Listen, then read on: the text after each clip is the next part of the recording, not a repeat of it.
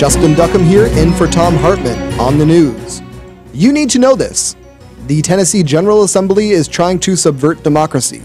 Republican lawmakers in that state want to revise our election process and gives them and give themselves the power to select which candidates appear on the ballot for US senator.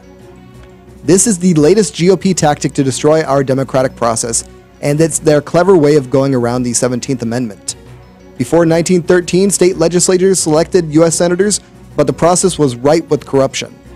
So the 17th Amendment was enacted to give voters the power to select their leaders and remove the opportunity for rich guys to buy themselves a Senate seat.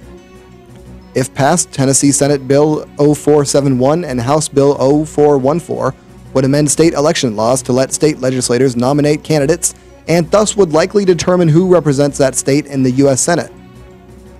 As Tennessee voters are highly likely to vote Republican, it's a virtual certainty that the GOP candidate selected by the state legislators would go on to represent that state in the Senate. The 17th Amendment was passed to prevent wealthy men from buying off state legislators, and this new law in Tennessee would open the door to the same type of corruption all over again. Citizens United paved the way for mountains of cash in political races, but why spend millions in campaign ads when you can simply bribe a few state legislators and achieve the same effect? Republicans know they can't win elections on the issues, hence their attempt to disenfranchise voters and buy off politicians. Now they think they can simply decide who has the right to appear on the ballot. We must stop the attack on our democratic process. Our right to vote is our most important right, and it must be protected. In screwed news, it's been one month since the sequester cuts began, and, and the Republican austerity is about to hit those who can least afford it. Starting this month, recipients of long term unemployment benefits will see their weekly checks reduced by as much as 10.7%. Currently, people who have been out of work for more than 26 weeks receive federal emergency unemployment compensation, which averages a modest $300 per week. In some states, jobless workers will be hit even harder as their emergency compensation benefits will expire sooner thanks to additional measures passed by state legislatures. This is immoral and it is unwise. Cutting aid to these people will mean that many could end up homeless and hungry. And without any money in their pockets, they won't have the ability to support their local economy. Stores will soon see less revenue, and the downward economic spiral will continue.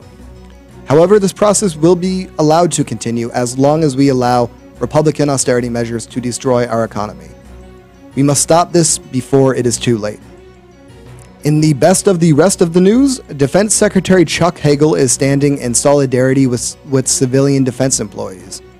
Because of the sequester, as many as 800,000 workers will face furloughs this summer.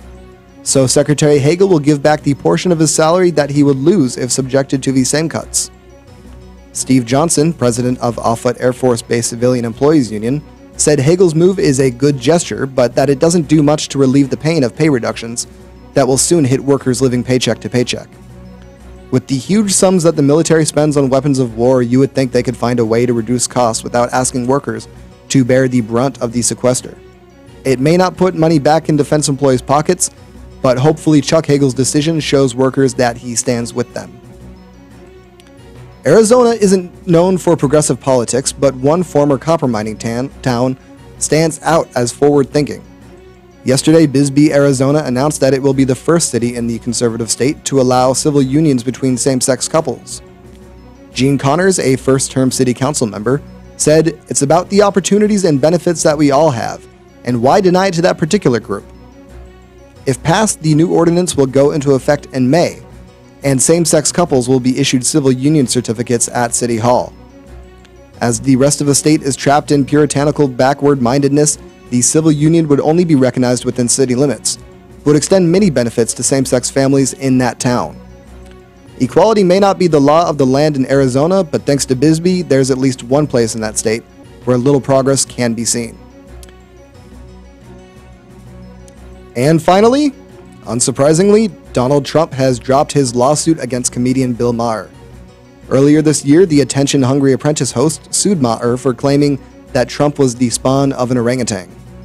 While most logical people would recognize that Maher was telling a joke, Trump used the opportunity to carnival bark yet again. Michael Cohen, special counsel to the Donald, didn't specify why the suit was dropped, only saying the lawsuit was temporarily withdrawn to be amended and refiled at a later date. Right. What Mr. Trump fails to realize is that our court system is not there for his amusement or to fulfill his never ending need for attention. Perhaps the Donald will reimburse the courts for their wasted time working on his frivolous lawsuit, but considering he has several other pending, we highly doubt it. And that's the way it is today, Wednesday, April 3rd, 2013. I'm Justin Duckham, in for Thom Hartmann on the news.